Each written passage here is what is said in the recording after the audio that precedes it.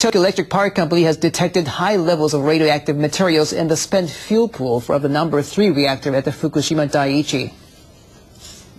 TEPCO examined the water sample from the pool on Sunday. It contained 140,000 becquerels of radioactive cesium-134 per cubic centimeter, 150,000 becquerels of cesium-137, and 11,000 becquerels of iodine-131. The radioactive iodine is leading TEPCO to believe these substances may have come from damaged fuel rods in the reactor rather than the damaged spent fuel rods in the pool.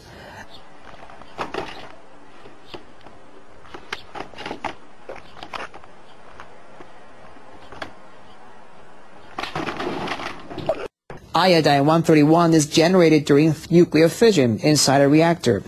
The substance has a short half-life the utility says the radioactive substances may have become attached to debris and entered the spent fuel pool together. None of these substances was detected during an inspection on March 2nd before the accident triggered before the accident triggered by the March 11th disaster. The operator of the troubled Fukushima nuclear plant announced last month a planned schedule to bring the accident under control. But the utility is now facing a setback due to high radiation levels in reactor buildings. TEPCO announced a plan on April 17th detailing 51 measures to be implemented over the next three months for the first stage. The most important steps involve the cooling of the reactors. These include pumping water into the reactors, injecting nitrogen into the containment vessels to prevent a hydrogen blast, and filling them with water.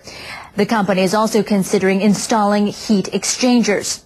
Workers have entered the number one reactor building to make preparations for injecting water into the containment vessel. On Tuesday, they began calibrating the water gauges. But high levels of radiation have been detected inside the number one building, and experts say it may force TEPCO to change its work plan.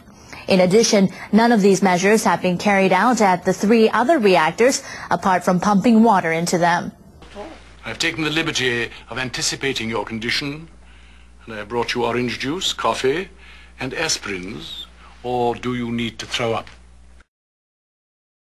At the Fukushima Daiichi nuclear power plant, workers have again entered the number one reactor building and have begun fixing gauges, an essential step for restarting the cooling system.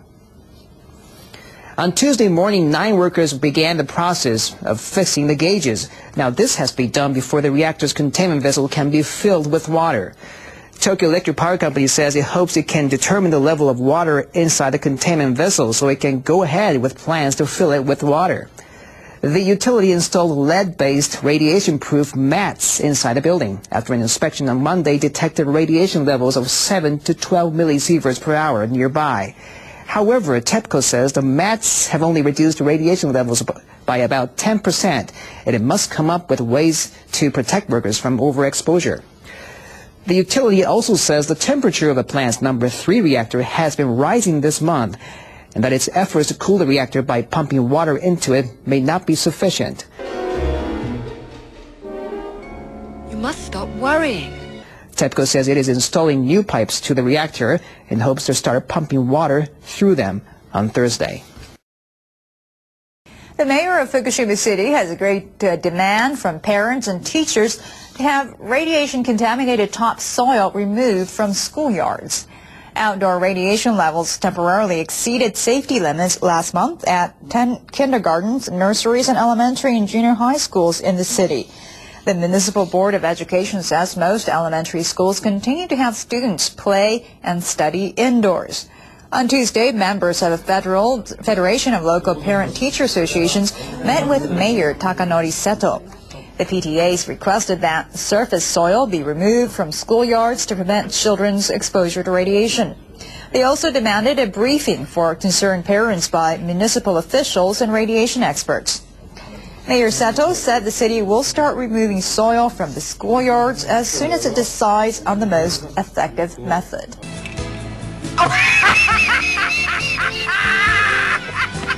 What's so funny now? I sometimes just think funny things.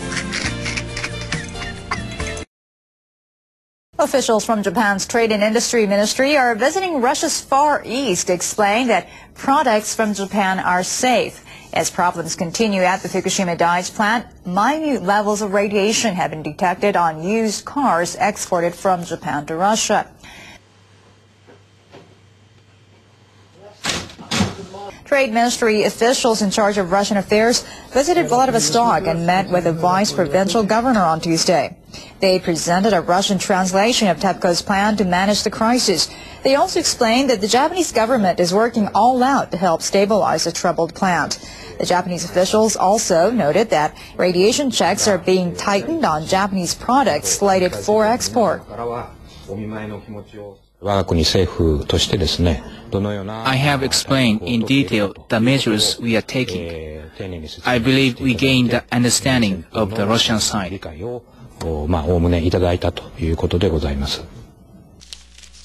alert the media.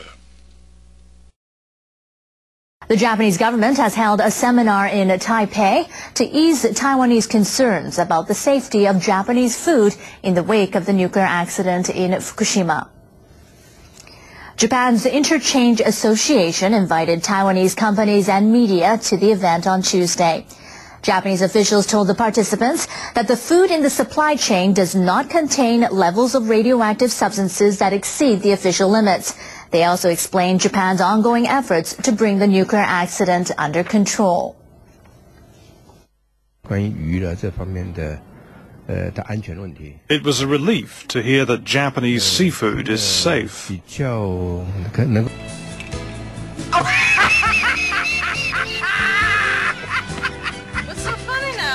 sometimes just think funny things.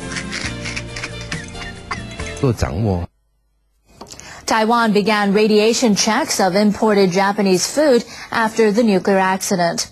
In a related move, senior officials of the Japan Tourism Agency will hold another seminar in Taiwan on Thursday to stress that Japan is a safe country to visit. There he is! No, no flowers, thank you. Welcome home, Frank. Good work in Beirut. We all heard what you did. Thank you. The president of Tokyo Electric Power Company, or TEPCO, has asked the government for financial help in paying compensation over the accident at its nuclear plant in Fukushima. TEPCO President Masataka Shimizu handed a letter of request to Chief Cabinet Secretary Yukio Edano and Economy, Trade and Industry Minister Banri Kaieda on Tuesday. According to the letter in the current business year, TEPCO expects to spend an extra 1 trillion yen, or about $12.5 billion for thermal power generation and $9.3 billion to redeem its bonds and repay debts. The utility says it's afraid that the expenses will make it hard to offer just and speedy compensation while maintaining stable power supplies. TEPCO also says its chairman, president, and other board members will decline their salaries and bonuses for the time being. It says it will sell securities, property, and other assets to raise as much funds as possible and restructure its management. Industry Minister Kaieda told reporters that the government aims to decide how to help TEPCO financially within this week.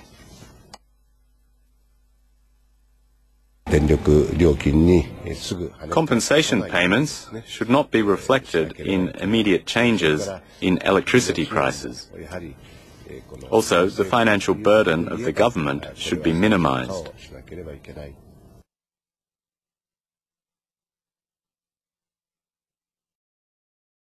Japanese nuclear scientists are calling for the creation of a single professional nuclear watchdog similar to the Nuclear Regulatory Commission in the United States. Fifteen scientists at the Atomic Energy Society of Japan analyzed the accident at the Fukushima Daiichi nuclear plant. In their report, the scientists warned that existing contingency plans do not fully address disasters such as tsunamis, which are less frequent but have a far-reaching impact. They also say the existence uh, uh, they say the existence of a number of supervising bodies made responsibilities unclear and hampered smooth communication in the wake of the accident. The report calls for a unified command structure and for a review of the roles of the Nuclear Safety Commission, the Industry Minister's Nuclear and Industrial Safety Agency, and the Science Ministry. Scientists also recommend reviewing the presumed scale of tsunami that a nuclear plant could face. They say the plants should be equipped with heavy machinery to remove debris, along with devices to protect key safety instruments. University of Tokyo professor Koji Okamoto, who has involved, who's involved in the analysis, says he hopes the lessons learned in Fukushima can be shared at more than 400 reactors across the world. One lesson we have learned from the events at Fukushima is that we need to presume that accidents will happen. We need to take necessary measures to make the world's nuclear plants safer. Thank you for a memorable afternoon. Usually one must go to a bowling alley to meet a woman of your stature. Governors of two Japanese prefectures, Shimane and Saga, say they need more information from the government before they can give the go-ahead for nuclear power plants in their prefectures to be restarted. The governors were responding to a statement on Tuesday by Industry Minister Banri Kaieda, who said that apart from the Hamaoka plant in Shizuoka Prefecture, there is nothing to stop other nuclear plants in Japan from continuing or resuming their operations. Shimane Governor Zambi Zenbei Mizoguchi expressed his position at the prefectural assembly. I cannot yet decide whether or not to restart operations in the city of Matsue. There are various issues I need to confirm. Mizoguchi said he must first hold talks with the central government about a range of issues relating to nuclear plants, including the damaged Fukushima Daiichi plant, as well as projected power supply and demand. In Saga Prefecture, two reactors at the Genkai power plant were shut down for a scheduled inspection, and they were not restarted following the accident at the Fukushima plant. We haven't heard how the government is assessing its emergency safety measures. I cannot authorize restarting the two reactors at the Genkai power plant. I mean, I accidentally did that. Dave, you have a disease. Would you apologize if you were a diabetic? Of course not. So why do you feel you have to apologize because you're suffering from TAS? Um, TAS? Toxic anger syndrome. UN-sponsored conference on disaster preparedness has opened in Geneva, taking up the nuclear accident in Japan as its main topic. Some 2,700 government officials and delegates from about 170 nations are taking part in the four-day meeting starting on Tuesday. UN Secretary General Ban Ki-moon addressed the plenary session and called for tighter safety standards at nuclear power stations to better protect citizens. The tragedy at uh, Japan's Fukushima Daiichi nuclear power plant has raised questions about the future of nuclear energy and fueled public fears.